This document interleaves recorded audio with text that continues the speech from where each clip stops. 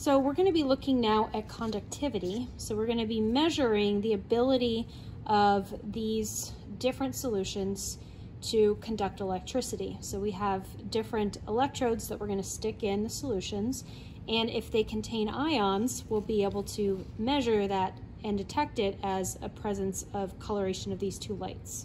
So as these lights up, the more conductivity you have, the more amount of ions you have, will dictate whether you are just red or red-green faint or really distinctly green if it is very high conductivity.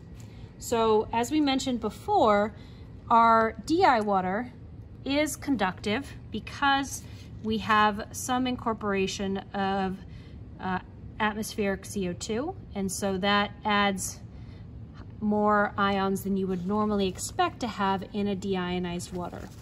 So we're gonna wipe off in between each step. So you could see the red in the DI water meant low conductivity. You're gonna see the difference in something like sodium hydroxide. That's really distinctly bright red and bright green. So this is high conductivity. And you can actually visualize bubble formation as this reacts with the electrodes. So incredibly high conductivity with our sodium hydroxide base. And again, I really wanna make sure to wipe this off really well before going into the acid. So we now have hydrochloric acid, again, really high conductivity.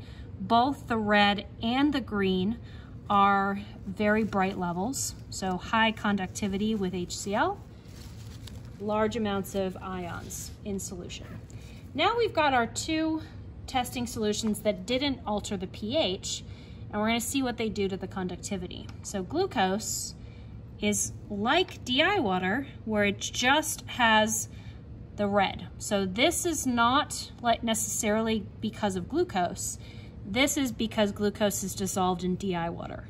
Glucose itself is not conductive. It does not ionize. But what we're seeing, that faint conductivity, is because glucose is dissolved in the DI water that had a faint conductivity.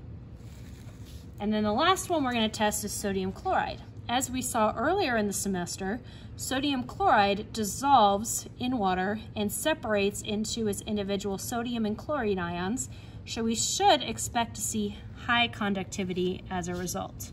So this is very bright colors for both, high conductivity levels.